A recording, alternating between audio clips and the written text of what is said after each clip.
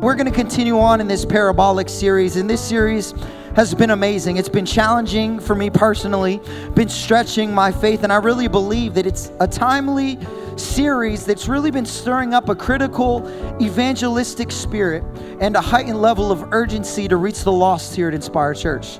I mean, look around, this place is full, but it's not just happening here on weekends, but it's really happening throughout all of the generations here at Inspire Church. And, and, kids, we have over 500 kids in our kids ministry. Each and every over 500. Okay, say a prayer for the kids ministry, or even better, sign up to serve in the kids ministry. This Tuesday night, young adults, come on, 18 to 30 year olds, young adults, turn up, baby.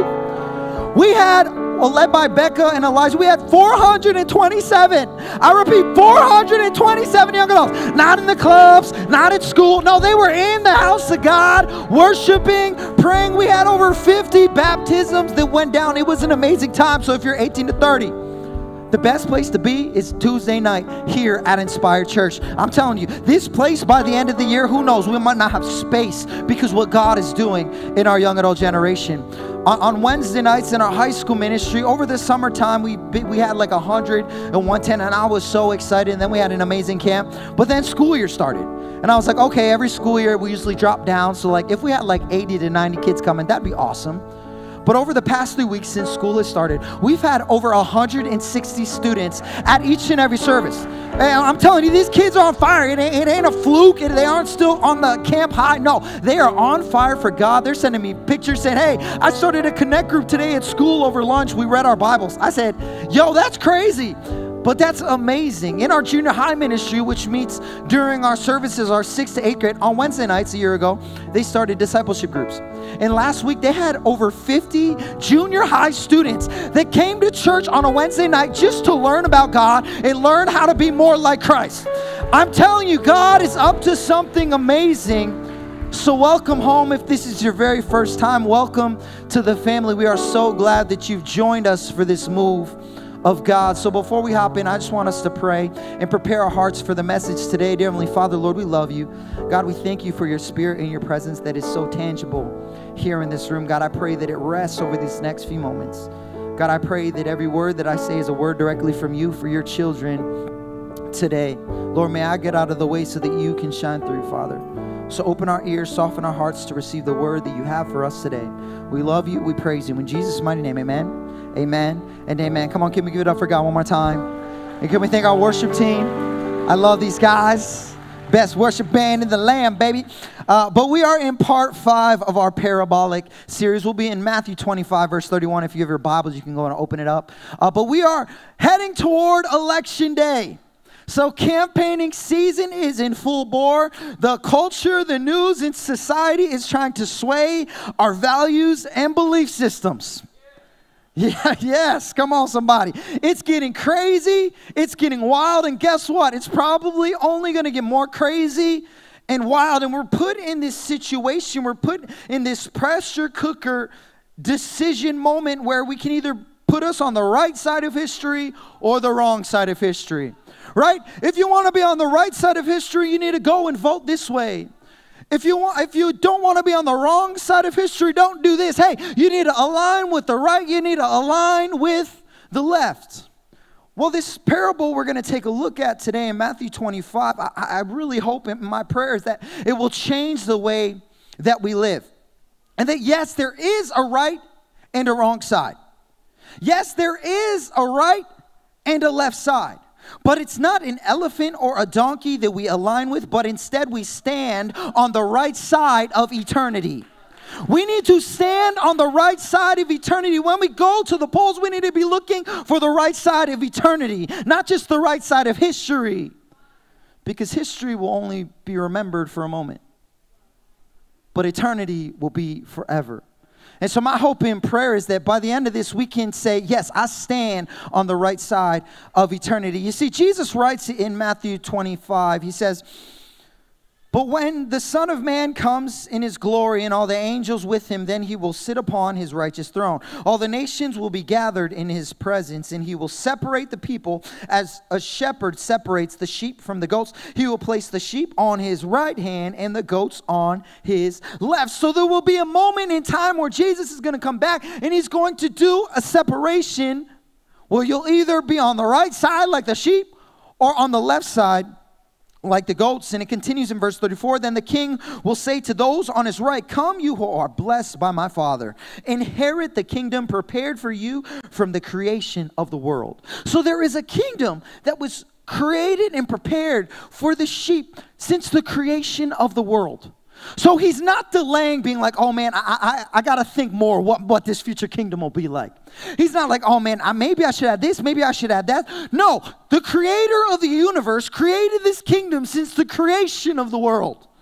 And let me say, if he created all of this, the intricacies, the amazement, I mean, just go outside. Maybe not today because it's raining, but when it's sunny, just go outside and look around Hawaii. Okay, it is beautiful, the creation that he created, but that pales in comparison to the kingdom that he has created for his kids to inherit. I want to be a part of that kingdom. I don't know about you, but I hope that I'm a part of that kingdom. And he says in verse 35 For I was hungry and you fed me. I was thirsty and you gave me a drink. I was a stranger and you invited me into your home. I was naked and you gave me clothing. I was sick and you cared for me. I was in prison and you visited me. Then these righteous ones will reply, Lord, when did we ever see you hungry and feed you, or, or thirsty and give you something to drink, or a stranger and show you hospitality, or naked and, and give you clothing? When did we ever see you sick or in prison and visit you? And the king will say, I tell you the truth. When you did it to one of the least of these, my brothers and sisters, you were doing it to me. Then the king will turn to those on the left and say, Away with you, you cursed ones, into the eternal fire prepared for the devil and his demons. Uh oh. For I was hungry and you didn't feed me. I was thirsty and you didn't give me a drink. I was a stranger and you didn't invite me into your home. I was naked and you didn't give me clothing. I was sick and in prison and you didn't visit me. Verse 44 Then they will reply, Lord, when did we ever see you hungry or thirsty or a stranger or naked or sick or in prison and not help you? And he will answer, I tell you the truth. When you refused, everyone say refused when you refuse to help the least of these, my brothers and sisters, you were refusing to help me. And they will go away into eternal punishment, but the righteous will go into eternal life. So, in this parable, we see two different groups. We see sheep, we see goats, we see two different attitudes, we see two different lifestyles, and ultimately, we see two different eternal outcomes. You see, if I were to summarize this parable, I would say who we live for will affect how we live now and where we'll live for eternity. Let me repeat that for online. Who we live for will affect how we live now and where we'll live for eternity. Who we live for should affect the way that we live. It should change the way that we live. You know, people will know who you live for by your actions out in the world. If, if you truly live for the king, then your actions should probably re- reflect that you truly live for King Jesus. Because you see, if your actions aren't in alignment, then you're not showing that you live for the king. But you see, it doesn't just affect our, our, our now, but it affects our eternity. We need to live for the king. So today we're going to take a look at how to know if you're on the right side of history and what it looks like to, to live for the king. But, but before I get into that, I need to lay a foundation, okay? Because sometimes some of you, maybe you were reading this passage and you're like, oh man, all I got to do is good works and I can inherit this kingdom? All I got to do is, is go out and feed people and give people clothing and, and do good things. And, and then, then we, we do it out of fear and be like, oh, I don't want to not be with God, so I'm going to go do all these good things and I'll be good. Let me tell you, that is not how you receive salvation in everlasting life. Okay, that is not, salvation is a free gift that is freely given. You can't earn it. You can't pay your way into heaven and be like, oh, can I give $500 to the church and I get a ticket to heaven? No, that's not how it works. It is a free gift that was freely given for anyone who accepts Jesus into their life. It says in Ephesians 2 God saved you by his grace when you believed. And you can't take credit for this. It is a gift from God. Salvation is not a reward for the good things we have done. So none of us can boast about it. So salvation it is a gift that is freely given. But once we receive that gift of salvation, once we have said, Hey, I, I surrender my life to King Jesus, I am King Jesus' child, I, I'm going to be a sheep in his flock, then our actions should start reflecting it.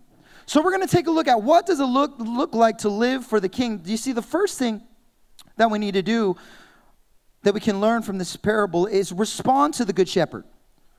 We need to respond to the good shepherd. You see, our standing as sheep begin when we make the decision to give our heart and our life to God. You see, that's when it starts. When we enter into his sheepfold, is when we say yes to Jesus. We need to respond to this good shepherd. And I really believe that God has kind of been preparing me for this message. It's kind of crazy because a few months ago, I, I got hooked on this song called Good Shepherd by Joel Barnes. Good Shepherd by Joel Barnes, okay? It's a song that I've been playing almost every single day, and man, I'm telling you, it is amazing. Watch the YouTube version, the extended version, and they go into an instrumental session where it's like, ah, and like, I wanna cry. It's so good. But it is so good. But I love the lyrics eh, of the bridge and the chorus. The bridge says, So all my days I will stay in the house of my father.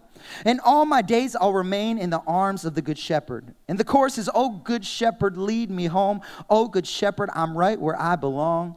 I belong here. And you see, one of the greatest challenges for non believers and even believers, because this is a challenge that I've struggled with, is truly feeling and believing that we belong and are loved by the Good Shepherd. We don't feel worthy of the love that we hear about when we come in and we hear Pastor Mike preach, Pastor DJ preach about this Jesus who died for me? Man, why did he die for me? I am not worthy of him dying for me. He made a mistake for dying for me. Have you seen my sin? Have you seen my mistakes? Have you seen my past? How could, why would Jesus? That was a mistake. I am unworthy. And we have a hard time coming to this grip in this revelation that there is a God in heaven. There is a Father in heaven. There is a good shepherd that knows your name. There is a good shepherd that loves you. There's a good shepherd that wants to lead you beside still waters.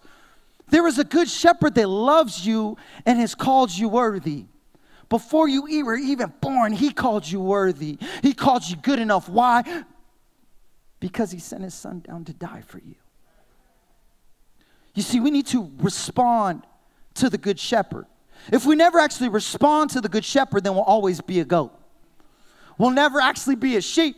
We'll always be a goat if we never respond. So that's the first thing. We need to respond to the good shepherd. You see, we can show up to church on the weekend. We can go to young adults on Tuesdays. We can go to youth on Wednesdays. We can be around the flock and still never fully commit to God.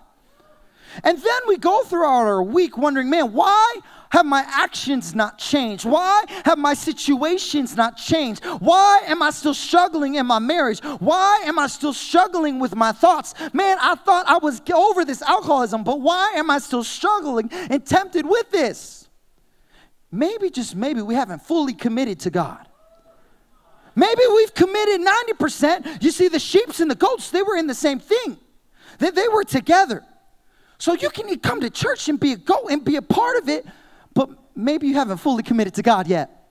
Because you see, when we fully commit to God, then it should start to reflect in our actions. It to start to reflect in our faith. In James 4 8, it says, Come close to God, and God will come close to you. Wash your hands, you sinners. Purify your hearts, for your loyalty is divided between God and the world. We can't live a loyalty that is divided between God and the world. If we're living, a, uh, if we're struggling with God and the world, then really we're living for the world. We have to fully commit ourselves to God, and this parable shows that our, our, once we do that, then our level and quality of our faith is ultimately revealed by our actions. That our actions need to come into alignment with the Word of God. Our actions and our passions need to come into alignment with the things that the Good Shepherd desires, the passions that the Good Shepherd has, the actions that the Good Shepherd has. When we fully surrender ourselves to Him, then we want to be like Him. We want to do like Him. We want to love like Him. We want to speak like like him. Why? Because we have responded to the Good Shepherd.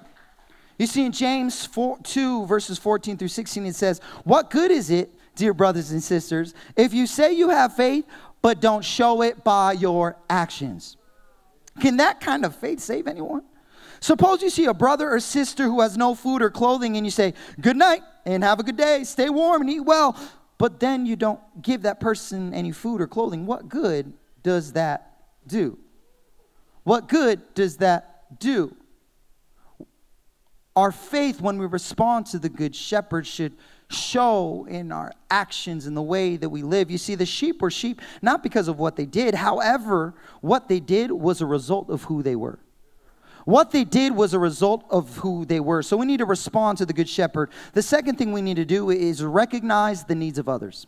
Online, we need to recognize the needs of others. In verse 37, it says, Then these righteous ones will reply, Lord, when did we ever see you hungry and feed you, or thirsty and give you something to drink, or a stranger show you hospitality, or naked and give you clothing? When did we ever see you sick or in prison and visit you? So they're, they're, they're talking to the king. The king is saying, Hey, well done for, for feeding me, for loving me, for, for serving me. And they're like, Hold up. Like, we never saw you.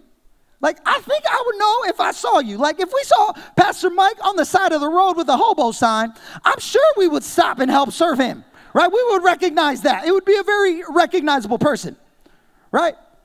But these guys are like, hold on, I, I, I didn't see you. But the amazing thing is, they may not have saw Jesus, but they recognize a need. They recognize that something was wrong. They recognized that there was a problem. They recognized that there was a need, and maybe, just maybe, they would be able to help fill that need. Maybe they weren't able to fill all of the need. Maybe they didn't have all of the answers. Maybe they didn't have all of the solutions, but they recognized a need that they could help be a part of the solution. So once we, we've surrendered to the Good Shepherd, once we've responded to the Good Shepherd, we must keep our heads up, our eyes open and attentive, and our eye, ears attuned to the promptings of the Holy Spirit around us. The problem is, we live in a culture where our time is locked into a screen. We live in a culture where, where, where we love remote work. Okay, if I could work remote, that would be amazing, right? Why? Because you are isolated. You don't have to deal with people. You don't have to, you don't have to shower if you don't want to. You can just throw on Zoom and, and look good from here up, and it's all good, right? We're isolated from people. Or maybe we're, we're, our lives are so filled with responsibilities that we have little room for margin or an interruption or an invitation to join God in His mission. But these things can allow us to miss the simple needs of those around us. You see, these needs weren't anything crazy. He didn't say, hey, well done for giving a million dollars to the Peru missions team. He didn't say, hey, well done for adopting all of the puppies at the animal shelter. No, they were really simple needs. It was giving food, giving drink, giving clothes, hospitality, visiting, caring for people. Really simple, everyday needs that us as believers we could do if we simply saw. But you see, the problem is sometimes we have a hard time recognizing the needs of others because we view the world through our eyes. But what maybe, just maybe we need is a perspective shift. So I'm going to invite one of my buddies up. Elias, everyone. Elias, come on up here, Elias. Clap it up. This is, as they say, my oos. This is my oos right here. Uh, this is Elias. This is my dog, okay? This is my dog, okay? So perspective shift. Some of us need a perspective shift. So Elias, face me. Face me. Good job. Are you ready? Are you nervous? No. Good, you should be. All right, here we go. Uh, can you take a step to the right? Good job. Clap it up for him. Grab it up for him. I know. So good. So good. Look at me. Stop looking at them. Stop looking at them. Can you take a step to the left, please? Good job. Get back to the middle. Can you take a step forward, please? Thank you. And then take a step backwards. Thank you. Thank you. Thank you. Clap it up for Elias. Clap it up for Elias. Thank you. Thank you. Don't, don't leave. Don't leave. So, did he do it right? He did, almost. He did it right from your perspective. But you see, I told him to take a step right, but that wasn't right. But you see, if he turns in my direction and he takes my perspective, and when I say, hey, Elias, can you take a step to the right? Then we take a step to the right together. When I say take a step to the left, then we take a step to the left together. When I say take a step forward, we take a step forward together. When I say take a step backwards, we take a step backwards. Why? Because he has the right perspective now. But to take this, this illustration even further, if I said, hey, Elias, can you take a look up to the left side? Up to the left side, what do you see? Okay, you see, you see people and the door, but I see a guy wearing a white shirt and a hat. I see a guy wearing a white shirt and a hat. So you see, yes, we, we have the same perspective. Yes, we have the same alignment. But sometimes what we need to recognize, you see, I was behind Elias, and it's like, hey, take a look at the left. But I, what I see and what he sees isn't necessarily the same thing. But you see, our God, yes, he has our back.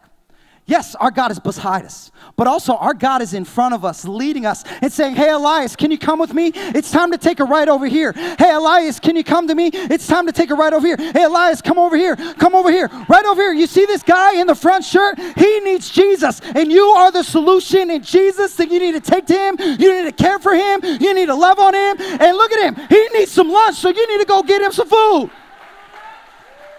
Thank you, Elias. We need a perspective shift.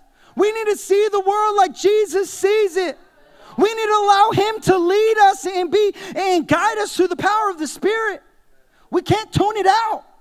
We can't, but he will lead us if we allow him to.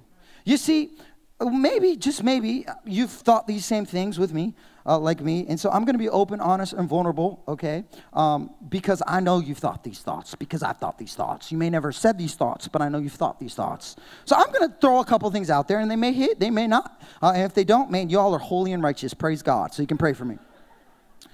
But you know when you see the homeless person outside of Longs asking for money, and you walk by him and you think, if I give this person money, he's just gonna go buy alcohol and drugs. So I'm going to help him by not giving money. Okay? Yeah, y'all are giggling, but I know you thought those thoughts because I thought those thoughts many times. Or maybe, just maybe, you see that homeless person and you look at them and you think, ah, if only they made better life decisions. Yeah, it's real. But what could happen if instead of judging that person, we have a perspective shift?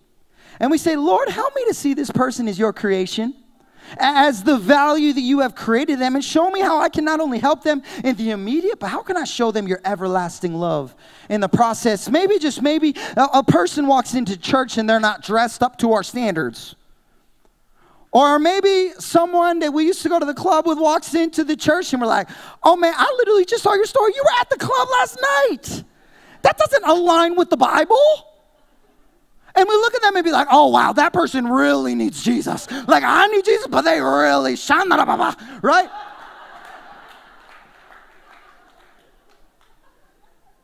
And we could say it as a joke, but really we're judging and we're criticizing their walk. But what if we looked at them and we had a perspective shift and we and we asked God, man, Lord, give me an opportunity to bring them into the church, community. Lord, give me an opportunity to invite them into Connect Group. Lord, give me the opportunity to walk alongside them so that they can experience your love today. You see, in Galatians 6:10, it says, Therefore, whenever we have the opportunity, we should do good to everyone. Especially to those in the family of faith. So we need to respond to the Good Shepherd. We need to recognize the needs of others. The third thing we need to do is realize who you are serving. In verse 40, the king will say, I tell you the truth. When you did it for one of the least of these, my brothers and sisters, you were doing it for me. You see, the least of these might look different for all of us. The least of these, for some of us, might be the homeless people in Wynot. For others, the least of these might be our drunk uncle. For others, the least of these might be that our, our, our, former friend, our former best friend that stabbed us in the back. So we blocked him on all social media. That's the least of these. Maybe, just maybe, a, a good judge for the least of these, or, or, for all of those folks that say, I don't like people. I'm sorry, I, I don't want to serve. I just don't like people. I, am just not a fan. Like, I just don't like people. And you see, oftentimes those people that say, I don't like people, they like people. But there are certain people that they don't like that cause them to say, I don't like people. And maybe, just maybe, the I don't like people are the people that are the least of these to you. And the king said, When you serve the least of these, you are serving me. When you refuse to serve the least of these, you refused to serve me. You see, it's great to recognize needs. It's important to recognize needs and be like, oh man, that's a messed up situation. Huh. That's unfortunate. And we walk away. Like you can recognize a need, but but the actual action and the actual faith part is when we engage in being a solution to the problem. And we recognize, hey, maybe this need is presented here. Maybe this is an opportunity for me to serve others, but ultimately, maybe this is an opportunity for me to serve God. Maybe God has placed this person in my life so that I can serve God with all that I have. Because it's good to serve others because when there's an opportunity, God is calling me to serve and love others because I love Jesus, because I love the Good Shepherd. I know the Good Shepherd served me, so I'm going to serve others. Why? Because everything that we do ultimately is service unto God, but oftentimes the opportunity to serve comes at the least convenient times, right? Like our friend comes up to us, hey, I'm so excited, I'm so jacked up, I'm going on my first mission trip, like, yeah, but I need some money. And they're like, oh, that's awesome, dude. I'm so excited for you. But you see, I just paid rent. I just paid my electricity bill. I just paid my car payment. I got my car insurance coming out. And I only got $20 in my bank account. And my fridge is looking kind of light. So I got to I gotta make that thing stretch. You know what I'm saying? Dollar menu uh, that's non existent no more. Um, so uh, that's awesome, dude, right? That's a little inconvenient. There's times when, when we get a phone call from our friend and they're like, oh, dude, ah, ah, me and my wife have just been in it. And they're like, oh, dog, me and my wife just got out of a fight before you picked up. Like, I should have been ministering to you. I need ministry. Like, I got my own problems, and now I have to minister to you. Oh. Or maybe, just maybe, it's you, you take your kids to work and it's you were had to get them all ready or to school and, and one of the one of the kids forgot their backpack so you got to go home and get the backpack and take it there and it's like your day is crazy and you're like oh man I got a lot of work to do and I'm already running behind. And then you pull up to your parking and the person that pulls in is that person that gets on your nerves each and every day and you're like Lord this is gonna be a long day Right? The opportunity to serve and love others often come at the most inconvenient times. And I was trying to think of a time, and ironically, it was this week. Uh, uh, like, uh, like I said, God's been doing amazing things that inspire youth, and it's been so cool because I know it's not even me. Like, I know it's all God, okay? And, but I've been encouraged. I'm like, hey, if you guys want to start things on your campuses, I am all in for you. I will do whatever I got to do for you. And so I received a text on Tuesday from a student and one of my leaders, and they said, Hey, we're starting a Bible club on campus this Wednesday. I said, Oh, that's awesome, but really inconvenient.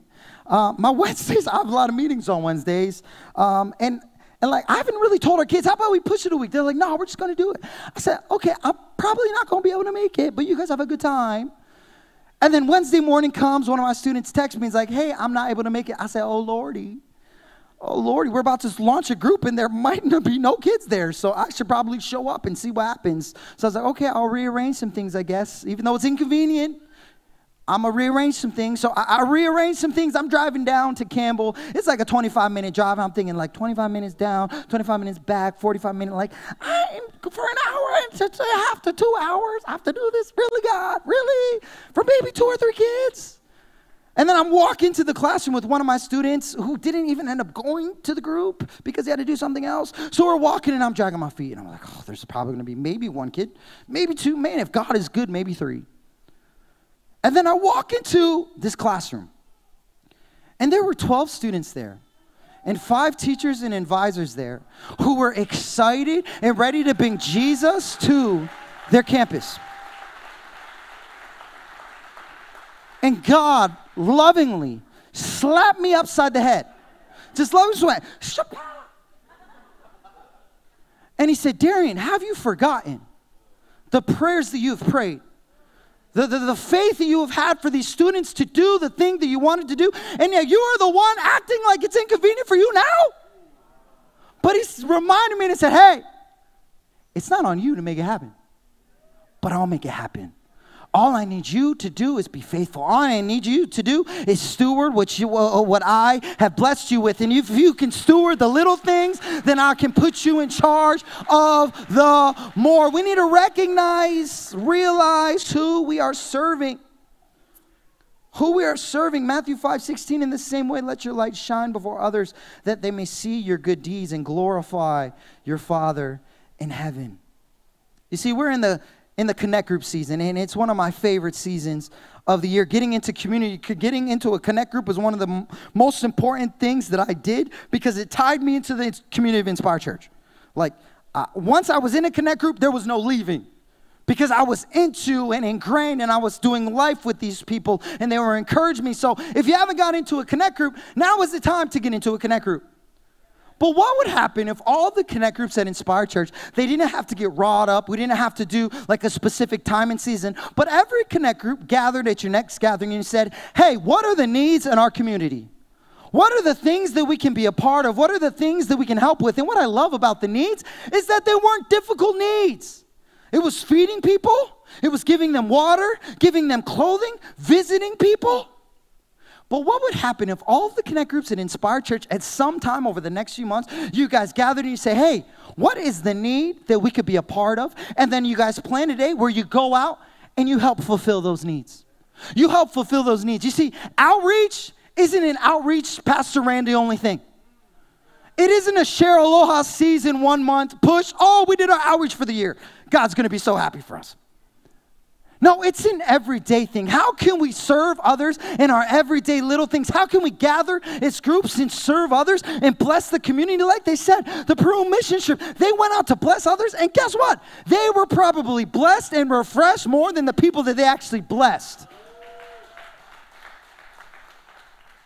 And to bring it a little bit closer to home, I'm sure you have all seen the gun violence that's going on on the west side of the island.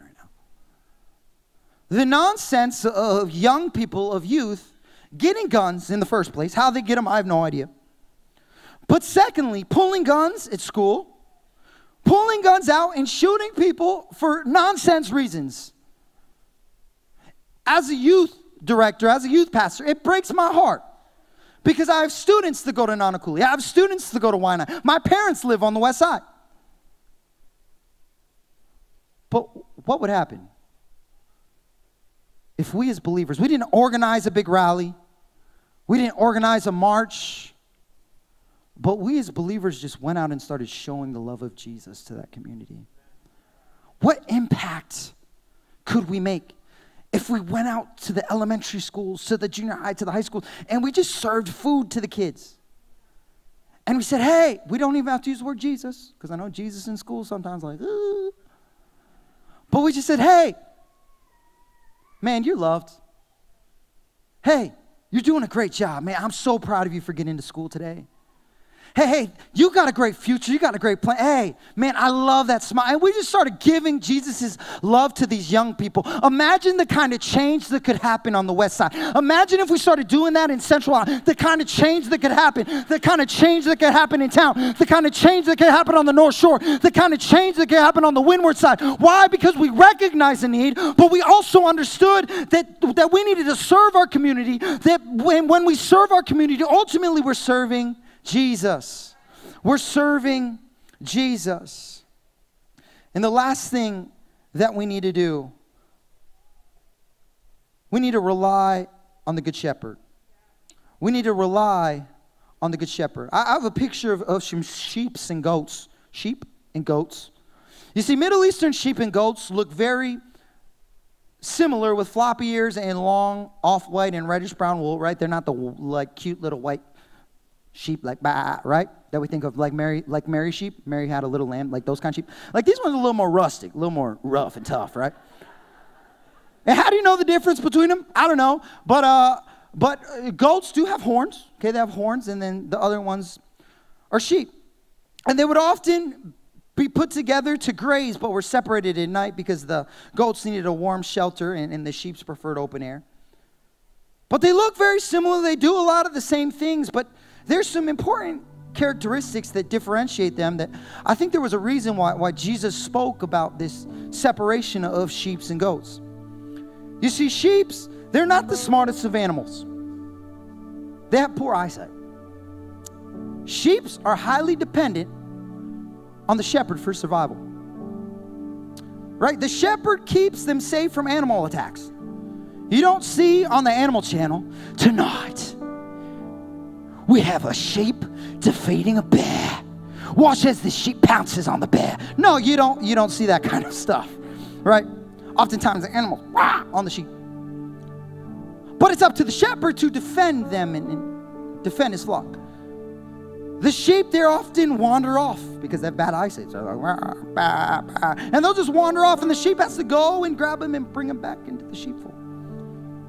You see, sheep, they they, they eat plants and grass, and so before they, they enter into the patch, because they don't know the difference, the, the shepherd has to go out throughout the pasture and pluck all of the poisonous plants. He has to take them all out so he can send his sheep in to eat. And then you have the goats. You have the goats. The goats, they were, they were honestly good for the sheep because they were good leaders. They were sure-footed. They could they could handle rough terrain, and so the the, the goats and they would kind of lead the sheep. The goats would be going and the bah, bah, and the sheep would just kind of follow around. But the problem with goats is that they're stubborn and independent. They're stubborn and independent. And you see, the sheep, they need their shepherd. They need their shepherd for survival. They need their shepherd for direction. They have to listen for the voice of the shepherd because their eyesight's bad. But you see, goats, they think they can survive independently without the shepherd. They're stubborn. They may not always listen to the shepherd. They may wander off from the shepherd and be like, okay, I'm good. I got this. I'm a, I'm a goat. You know, I'm a goat.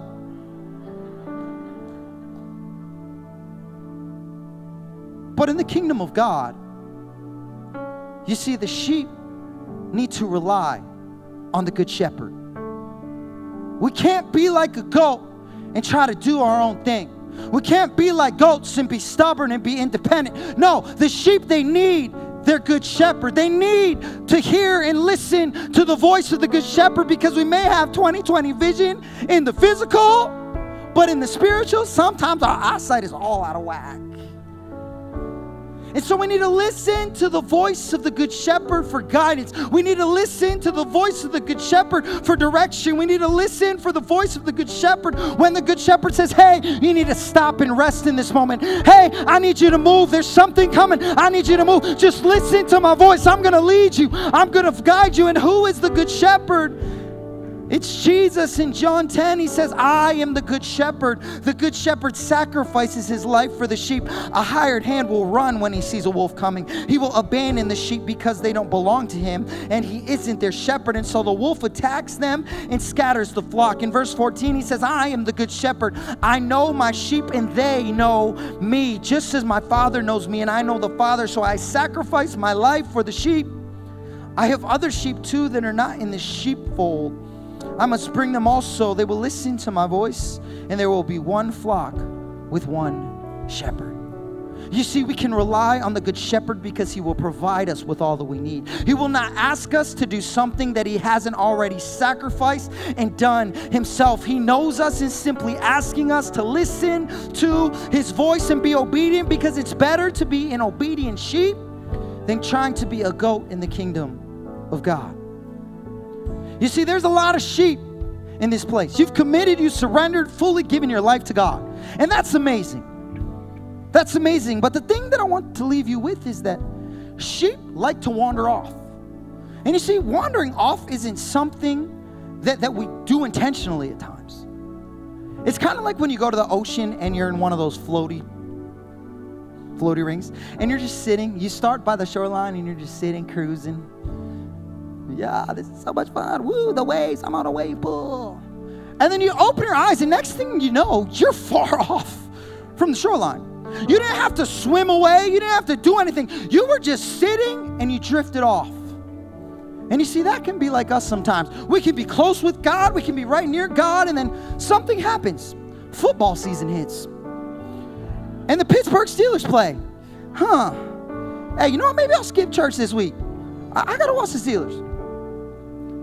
And then life happens. Oh man, my sports, my kids' sports schedules got, uh, they're on Sundays now. Oh man, here, you know what? We'll miss two to three weeks. It's okay. We'll, we'll watch online. And then our life starts to get busy and, our, and we get a we get we get a great raise at work and more responsibility, but we're like, oh man, now I've just got too much responsibility. I can't go to Connect Group anymore. And then all of a sudden we look around and we're like, wait, where's the good shepherd?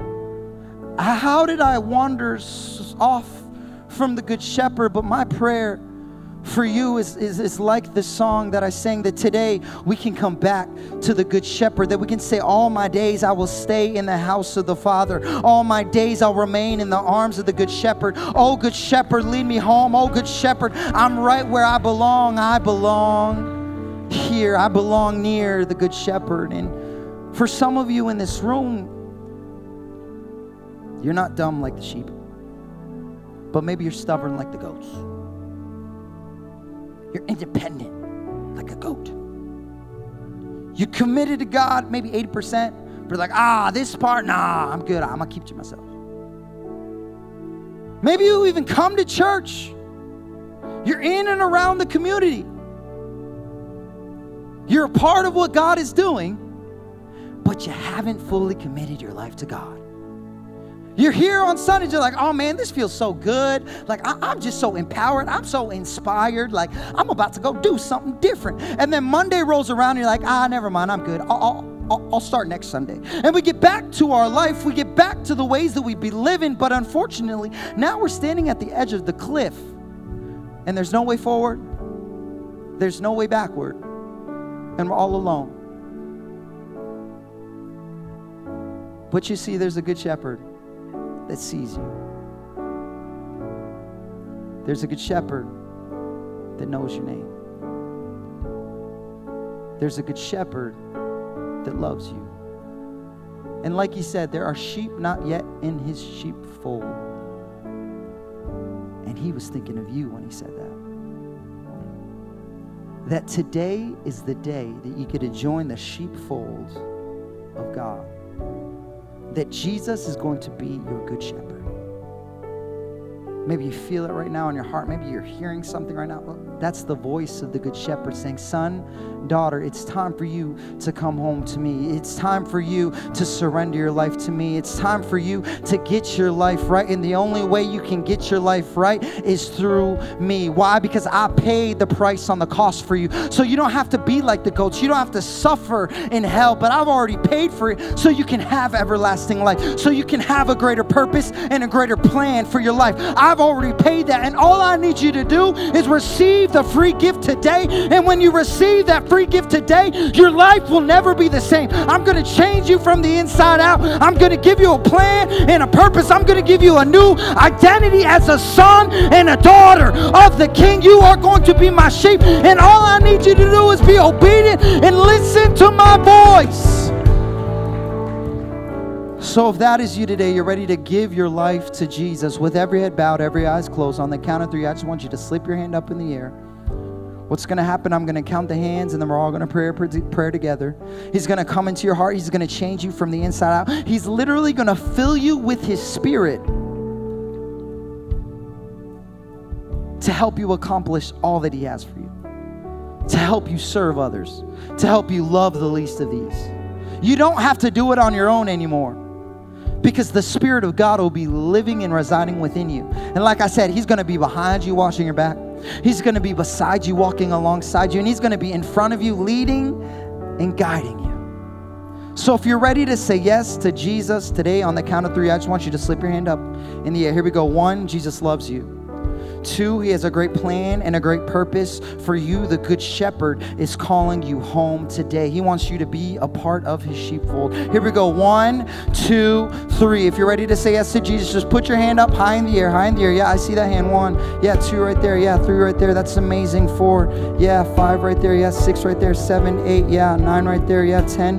Yep, 11. That's amazing. That's amazing. Yeah, 12 right there. Yeah, 13 right there. Yep, 14, yeah, 15 right there, 16, 17, 18, 19, 20, 21, 22, 23, yeah, 24, 25, 26, 27, yeah, 28, 29, 30, 31 right there.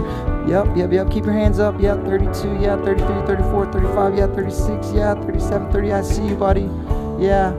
Yeah, that's amazing. You guys can go on and put your hands down. Almost 40 people in this room. Come on, can we clap it up for God?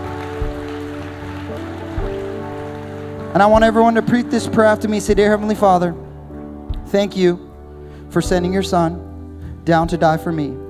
It's by His blood that I'm washed clean. Today, I choose Jesus. I choose your plan and your purpose for my life. So come into my heart and change me from the inside out. Mold me and shape me into the person that you've designed me to be. You are my Lord you are my Savior, and I'm your child. The old has passed away, and the new has begun. I love you, Jesus. In His mighty name, amen, amen, and amen. Come on, can we give it up for all those that gave their lives to the Lord?